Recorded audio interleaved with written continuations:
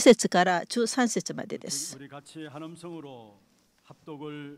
一緒に読みます。私はあなたのうちにペリクった夜べのない痛みを残す彼らはただ主の皆に美を避けるイスラエルの残りの者は不正を行わず偽りを言わない彼らの口の中に欺きの舌はない誠に彼らは草を食べて伏す彼らは脅かすものはない皆様あなたは世界を生かす宣教師です。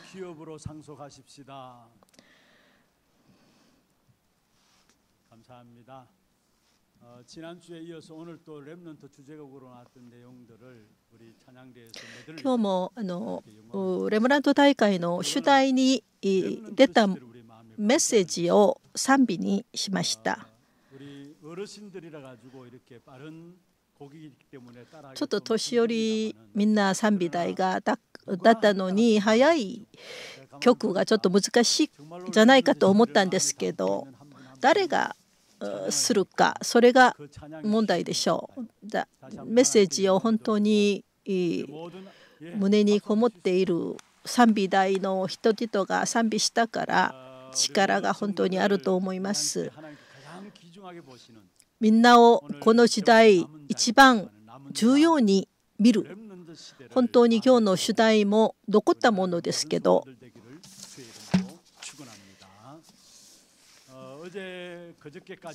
昨日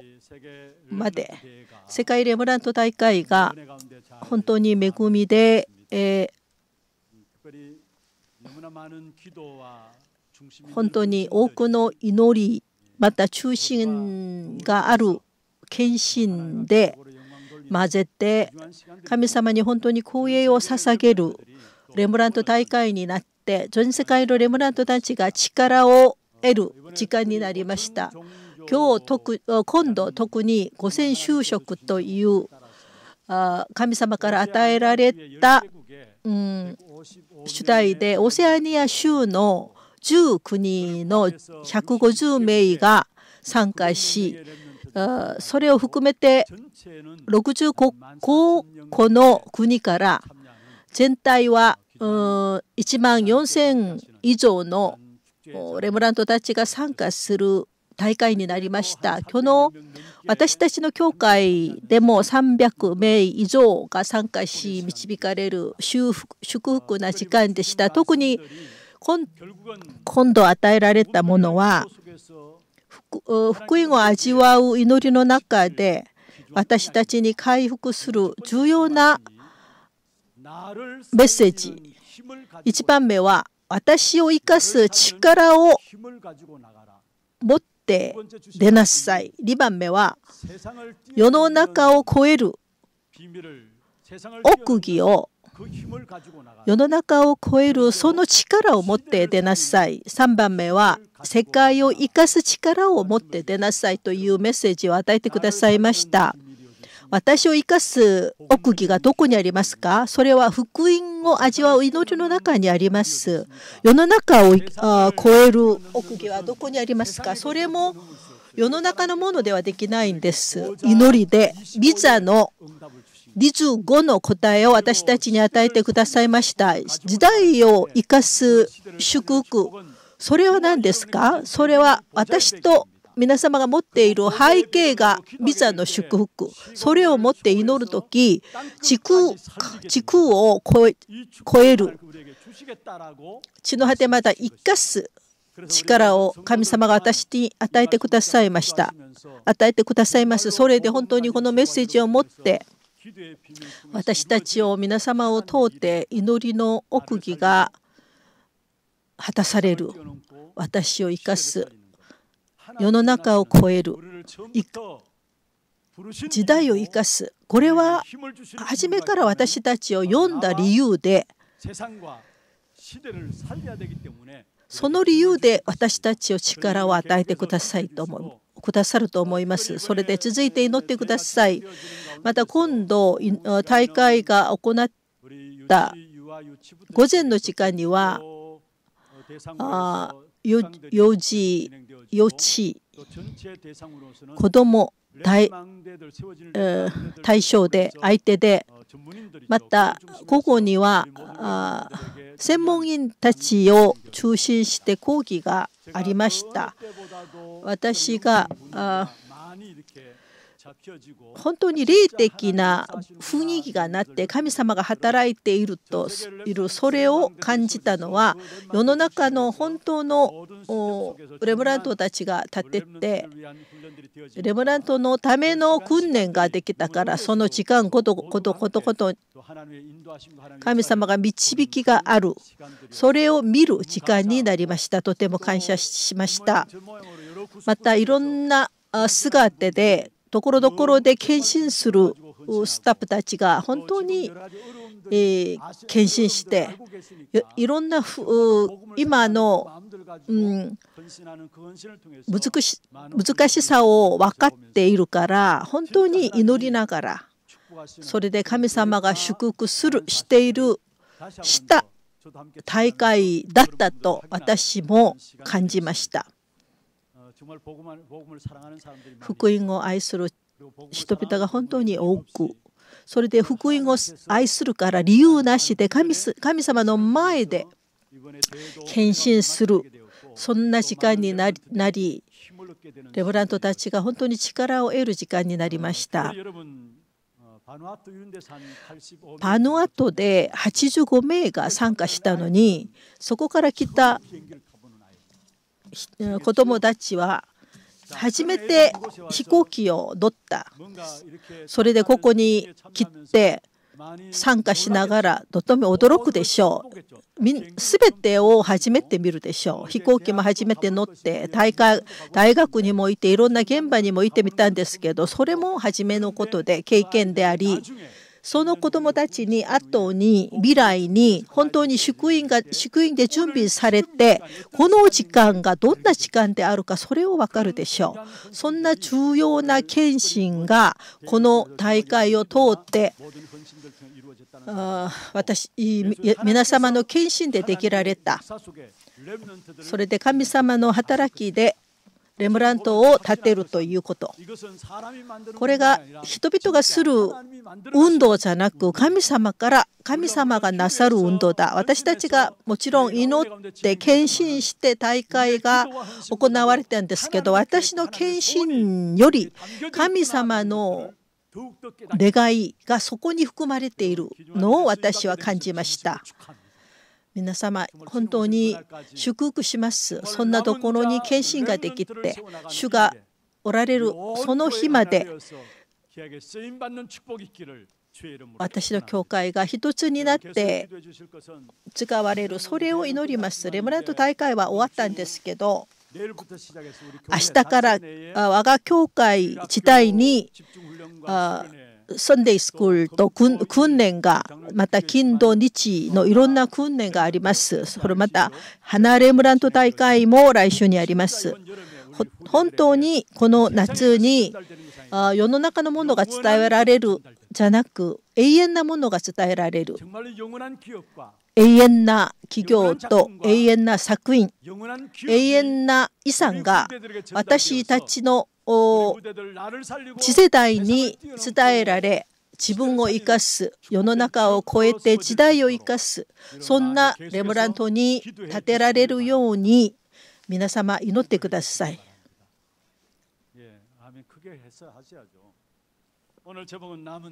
私のタイト今日のタイトルは残ったものです。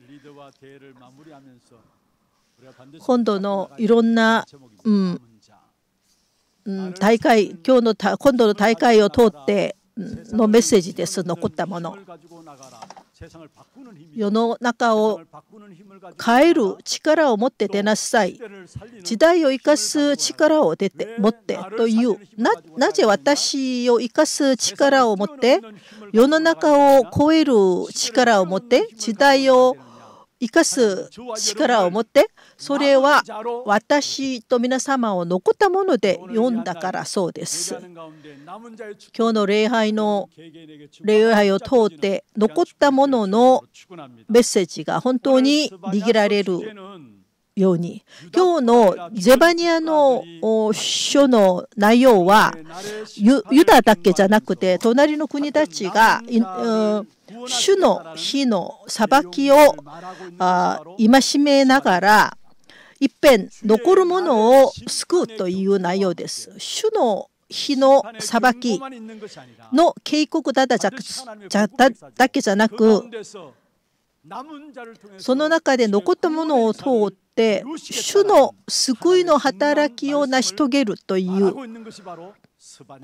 それを言っているのがゼバニア書です。神様がいつもどう働いているかを分かったら重要なことが握られます。神様はどう働きますか？ど隠されたものを通って働きます、神様は。主は隠しているものがあります。みんな滅ぼうのように見えますけど、みんな晴れるように見えますけど、その中でいくつの人々を隠して時代時代神様は神のことを成し遂げましたそれを聖書を通って見せましたそれでなくしたものを通って働く主はまた残ったものを通って働きますそれでどんなどの辺では残ったものを通った神様の働き旧約の重要な思想は残ったものの思想でまた新約でもそうです。ローマ書10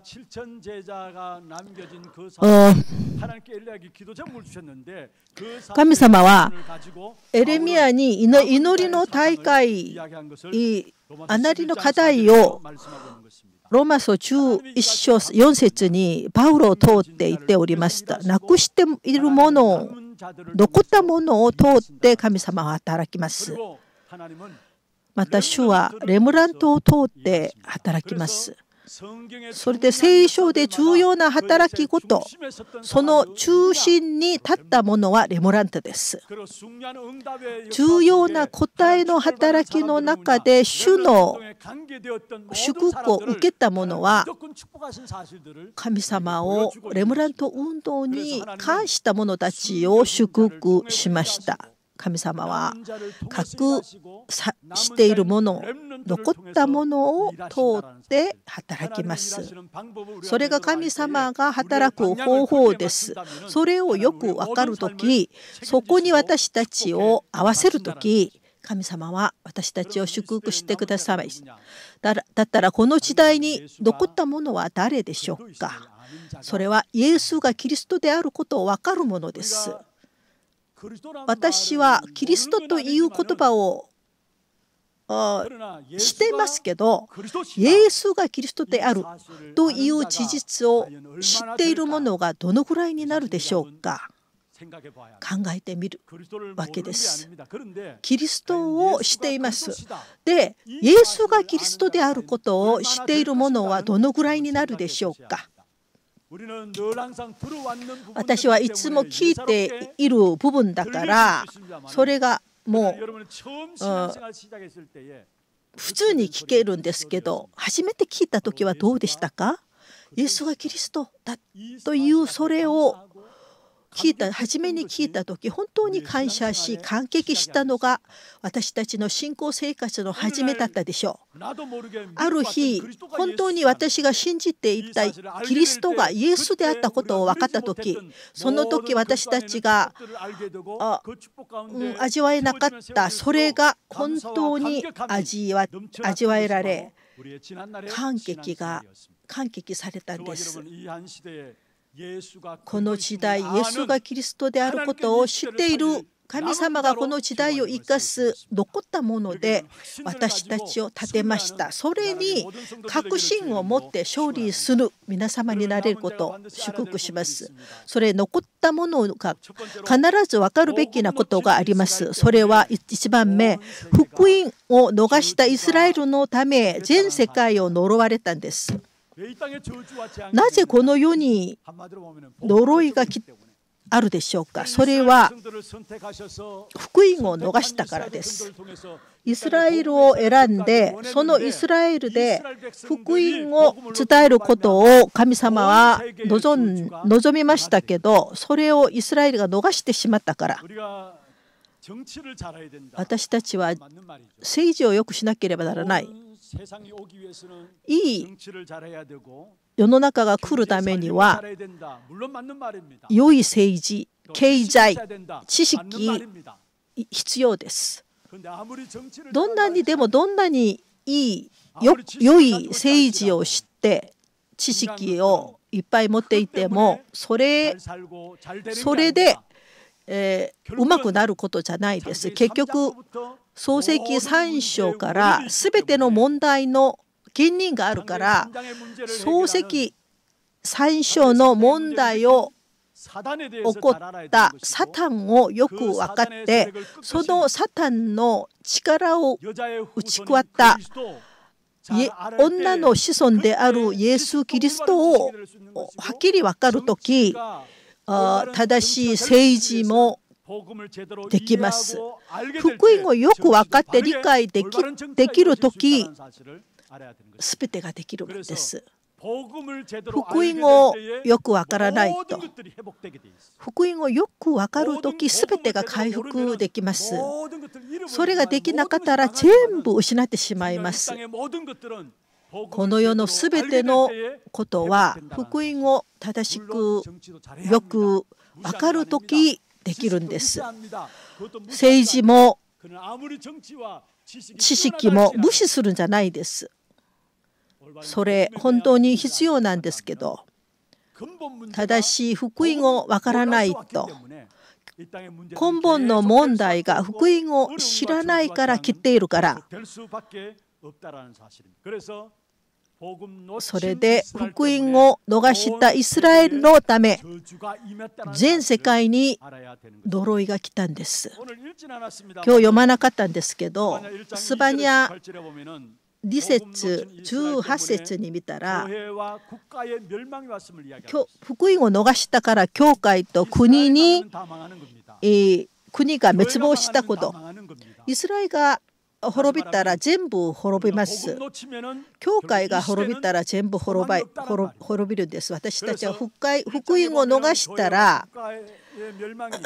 一節一章ゼバニア一章に見たら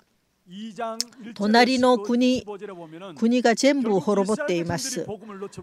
イスラエルの国が福音を逃したの逃したから隣の国が全部滅亡していることを言っていますユダが福音を逃して伝道宣教の重要な使命を逃して空上に落ちたからそれ神様があ滅びたんですけどそのため隣の国が全部滅びてしましまうんです。早く結論を出さなければならないんです。福音を持った国が揺れるから譲れるから隣の国が滅びます。福音を持った国が福音を持って福音を伝えないから福音を分かったから生かすのに生き生きられるのにそれができないから全部滅亡してしまいます。イスラエルの民を見てみましょう。イスラエルは本当に小さな国です。私の国のキョンギドとカゴンドの合わせたそのぐらいの面積です。それでとても小さな国なんです。そのイスラエルが福音を持って伝道と宣教の姉妹を果たす時にはその隣の国は全部世界福音化の道になりました。ローマもバベロンもアシリアも。イスラエルがでもイスラエルが福音を逃して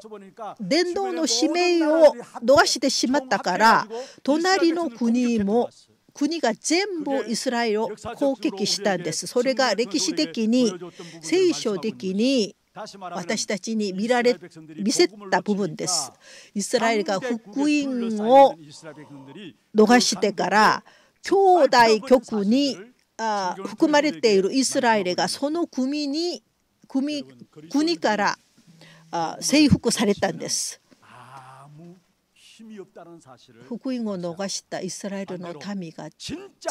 対力がなかったんです。福音を本当に持ったら神様が私の韓国をとても祝福してくださいました。みんな認めるでしょう。祝福された国の根性を我が民族が持っているでしょうか？そうじゃないと私は思います。でもとにかく神様は韓国を祝福してくださいました。みんな知っている通りに韓国の K 文化 K-POP これが全世界的に K フードも今は流行っています。どこでも認められています。コップラコップラーメンとかそれをヨーロッパに行ったら本当にあ買おうと人が並べているからこのぐらいあの韓国の食べ物があ流行っているかまたあの多民族がどうしても韓国に入ろうとして、並んでいます。どうしたどうしてこんなになったでしょうか？私は他の理由はないと思います。世界福音か全世界に福音を伝えるその理由で神様は私我が国を祝福してこんなに豊かにしてくださるんです。全世界に韓国を知らせて知らせた理由を私たちははっきりわからないとならないんです。それで私たちが本当に福音をよく伝えないと私たちは滅ぼすべきです。私たちが福音を伝えないと世界には希望がないです。で福音を回復した一人が出たらその一人を通って全現場が生かされるんです。福音がそのぐらい重要なんです。福音を持ったイスラエルが福音を逃してしまいからしまったから隣の国が滅亡されたんです。イスラエルが福音を回復したら隣の国たちが全部福音を伝える国に使えられたんです。イスラエルが福音を逃したから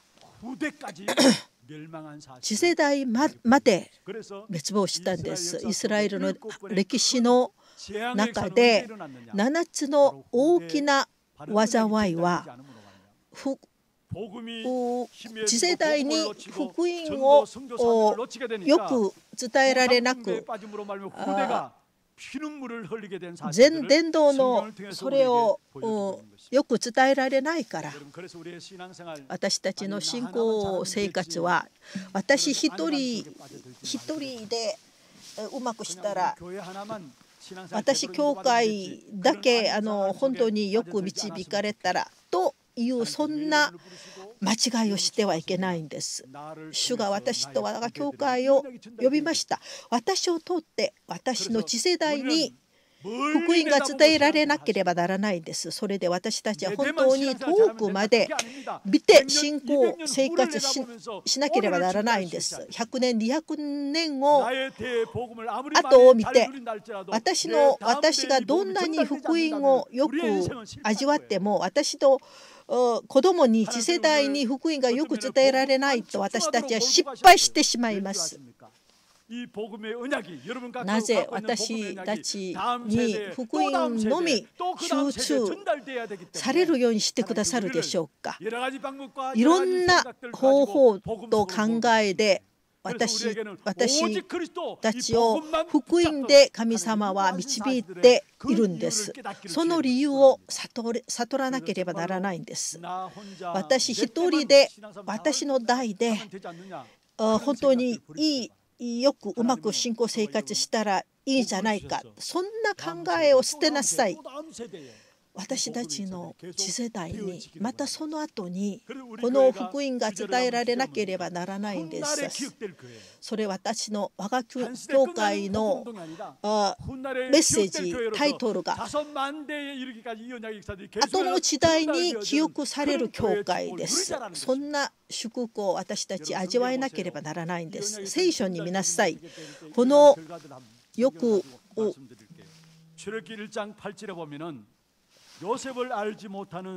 出エジプト書に見たらヨセプをよくわからない3人のヨセプとその兄弟出エジプト1章6節にヨセプとその兄弟その時代の人々は全部亡くなってヨセプはどんな人ですかキリストで契約で世界福音化したヨセプでした。本当の神様の祝福を全世界に表した人がそうです。でも出エジプト一章6節にヨセプとその兄弟とその時代の人は全部亡く亡くなった。それで契約が伝えられなかった。それそれで出エジプト一章8節にヨセプを知る知らない新しい王が起きてエジプトを治めたというそれがそれで奴隷の時代に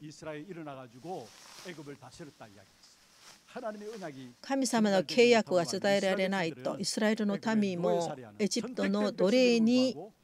選ばれた民であっても奴隷の生活をするそんな姿を見てみます佐々木立書に見たら笹の時代は自分のまま自分の考えで生活した時代でしょう。それが本当に難しかった時代でした。なぜそんな時期が来たでしょうか？それを佐々木2章7節に民がジョシュアが生きる間とジョシュアのあった後に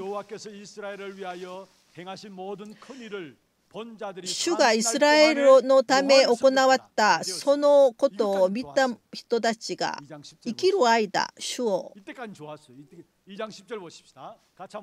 佐々木2章10節に見たらその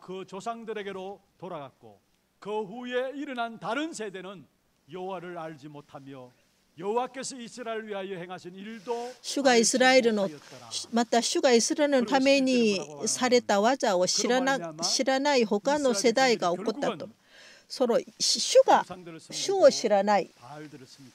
それ主を知らない人々が時代が来たら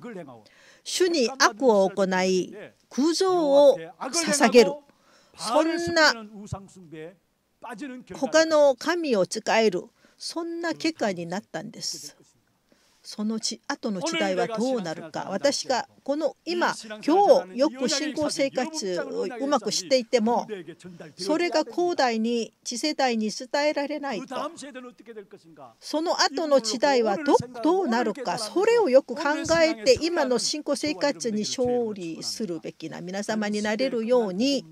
祈ります。ただ一代一時代のこの福音運動になったらダメです。それで続いて福音が伝えられる。それでそれためそのため私たちに代表的な祝いを与えてくださるんです。2番目神様は時代こと、残ったものを通って時代を生かしました。ゼバニアというその名が神様が隠しているものということです。こんなものを通って絶望の時代に本当の本当に危機の時代に福音を残したんです残したんです隠されたもので隠しているものでそれで福音を伝えているものを本当に破壊する逼迫するそんな時代に死んでも信仰を守るというそんな人々人そのそんな残ったものを通って神様は時代を生かしたんです。福音を伝える人たちをどんなに破壊したんですか？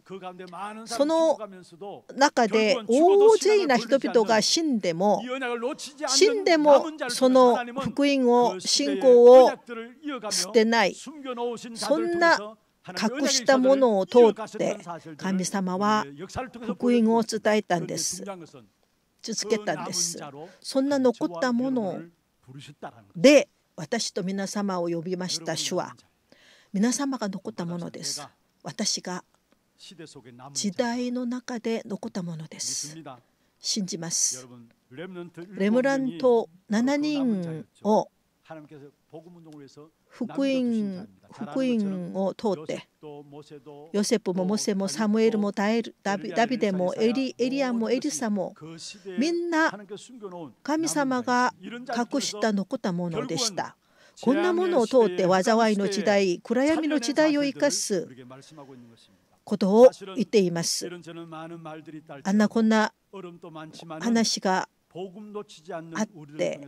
いろんな難しか難しかがあっても福音を逃さない私たちを通って必ずこのテグこの世民族を生かすことを確信します。本当に固く今まで残っている皆様を通って列王記1中9章18節に見たらアハップの危機の前でイスラエルの民の王ですから誰よりも空像を多くしましたその結果イスラエルの人々がみんな死にようになりました。その中でエリアが祈ったんです。私も殺してください。その時主がパールにまた、えー、列王記中級章中1節中8節にしかし私がイスラエルの中に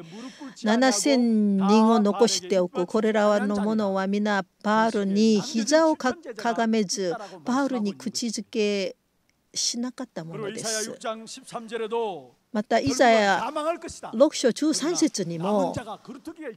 みんな滅ぼしても残って残るものがあると。まマタイ13章には天国の比喩マタイ13章皆様よくご存知でしょうそれは天国のことを比喩しているんですけどそのそこに4つ ,4 つのあ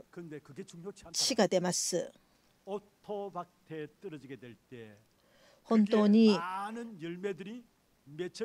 いいいい地に落ちて本当に福音を愛しその契約に中心を持ってそのこの契約がどんなに重要であるかそれを分かっているものそのそんなことを分かるものが本当に豊かな地です。どんなに福音が重要であるかと分かるものそのものを通って今度のレムナント大会を通って感謝したことがあります。私我が教会もそうなんですけど全国の就職者あ人々がイスイスイルさんのそこに 共に、えー、賛美を準備したんです。その人の中で、えー、連絡をする時いろんなことが進行されるのにいろんな変化があったんです。それととてもすまなかったんです。その時私が謝る時いろんな事情を、えー、話す時いつもいつもその人たちが何も構わないんです。私たちは全然構いません。そのことを聞く時あ私はこの方々のため、えー、この人々の祈りがあったからこの人々がある限り福音運動は続けられる。全世界の全世界でレムラントたちが祝福される。いろんな地上がある時もういろんな不意があるべきなそんな雰囲気だったんですけどその人の答えその人々の答えは相変わらず全然構いません。本当に心を含めて献身してくださったんです。そのぐらい福音を重要にしてその人たちが豊かな地です。その人たちが残ったものです。その人たちが私たちにあります。またまた本当につまらないもの。 큰 나무가 되어서 나중에 그게 많은 새들이 깃들인다 했습니다. 무슨 말입니까? 겨자씨가 딸지라도 결국은 시대를 살리는 사람들로 쓰임받 どどんなに小さなものでもあの教会の中にいろんな霊的な問題を持っている人々が ああるんでしょう。でもおねしものことを見てみなさい。泥棒したして牢に入ったでしょう。そこでパウルに会ったんです。それで福音を受けて完全に変わってパウルの本当に助けるものになってエペソ教会の監督ものに泥棒が結局福音を受けて神様の恵みを受けて教会を治める監督になったでしょう。本当に小さな福音。誰もわからないそんな誰もどんな霊的な問題を持っているけど神様が使う使う使うとそれは塞げない。教会のいろんな中に教育教会にいろんな人があるでしょう私と違う。で違うのが当たり前のことです。それを言うべきないんです。その神様はその人に対した神様の計画を持ってそれを果たしている神様です。その後に本当にうん、本当にあの隠している宝物それを人が分かってそれを分かってその畑を買うでしょう。イスラエルのイスラエルにもいつも戦争が多かったんです。それで宝物を畑に隠したんです。もうその家主がもう亡くなってみんな知らないですけどそれをそれを発見した見つけたものがその畑を買うでしょう。それそれも残ったものの比喩です。そんなに、え、こんなになくしている人々が私たちの隣に残っているんです。私はそうです。もう正しく本当に良くないように見えるんですけど正しい人でもいろんな話があるけど皆様がここに来ているそのこのこれこそ神様が本当になくしたものです。隠したものです。残したものです。ローマ書16章に見たらパウルが本当に主に思った昼食者たちが出ています。どんなにどんな破壊の中でもパウルと共に牢に行って命を懸けて共に苦しみを受けながら福音をつけた伝えたんです。その人たちが残ったものです。母教会に残っている皆様福音の運動で残ったものとし残ったものとして最後まで使える使えられるように残ったものの祝福は何でしょうか？残ったものは神様の恵みを受けたものです。私たちが立派立派で神様が私たちを選んでくださったことじゃないんです。残ったものは霊的に霊的に本当に貧乏な者たちです。私たちが本当に福音を福音を受ける者は霊的に貧乏な人たちが福音が必要な理由を分かって中今日の中辞書に見たらキリストが本当に必要な理由を分かるものです。へりくへりくった夜夜辺のない民を残したと言います。そう最後の12節に彼らはただ主の皆に身を避けると。主の名に頼って。皆様何を頼っていますか？人を頼らないでください。大勢の人たちが人を頼って人人に傷を受け人に。人のため信仰生活がうまくできないことをよく見ます。人々は本当に尊敬し愛する相手であって頼る相手じゃないんです。本当に残ったものはただ神様に頼るものです。主の皆に主の皆に身を避けてその皆に保護されるという意味でしょう。神様の皆で保護される。また13節に偽りを言わない不正を行わずまた最後に彼らは脅かすものはない本当に残ったものは誰も脅かすものはないんです。私たち残ったものだったら神様が最後まで隠して保護します。私を通って働く働きますから、それで最後まで私たちを保護してください、守ってくださいますから、私たちはその中のいろんなことは全部家庭です。神様のそれは全部イスラエルの民はまっすぐカナンに入ったんじゃないんです。荒野を投下したんです。家庭というのがあるんです。その大勢の人たちがその家庭に結ばれるんですけどその必要がないんです。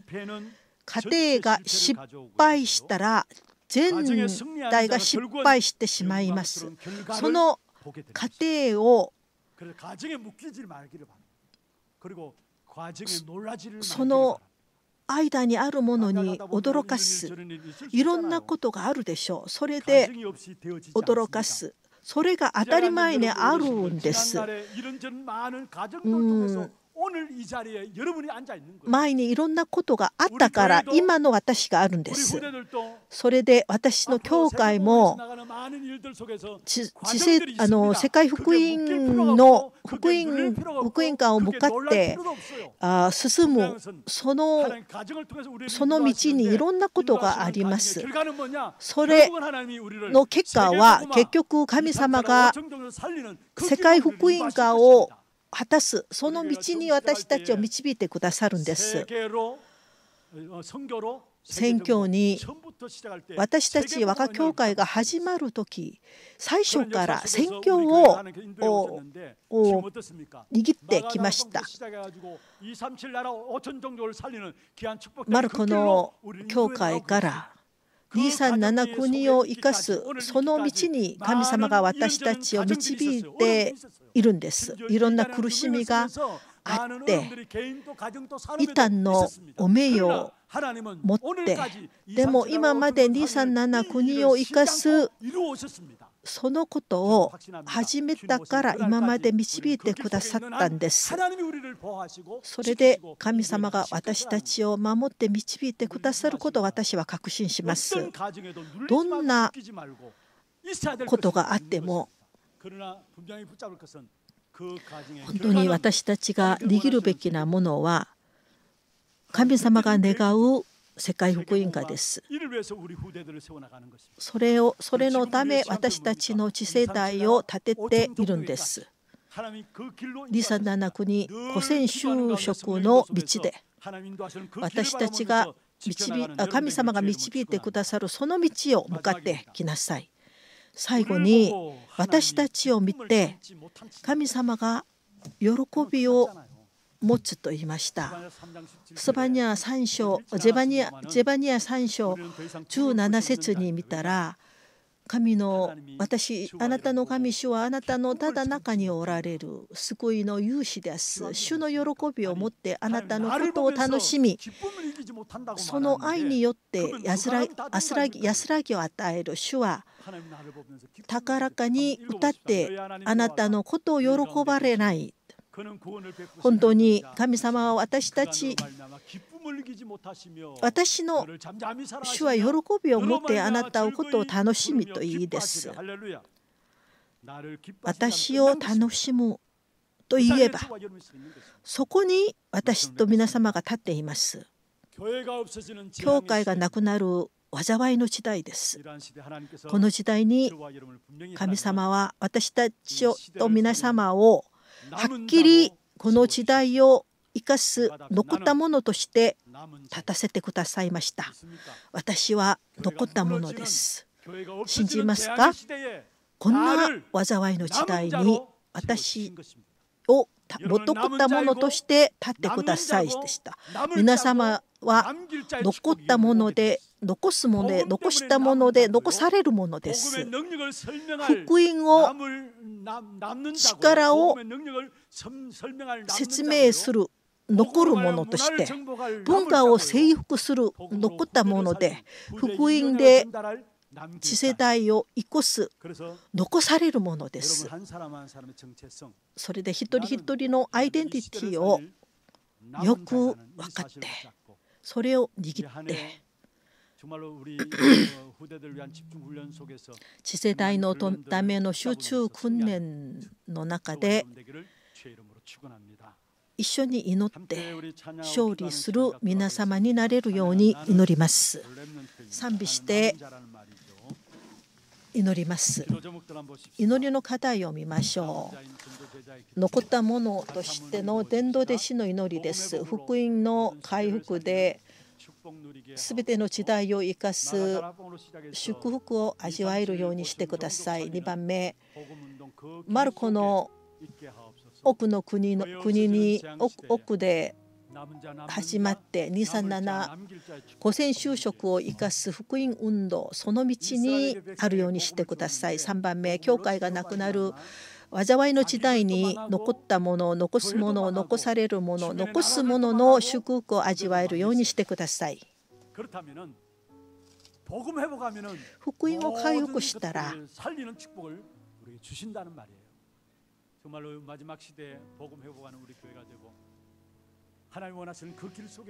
その道にある神様が願うその道にある我が教会になれるように本当に残すものとし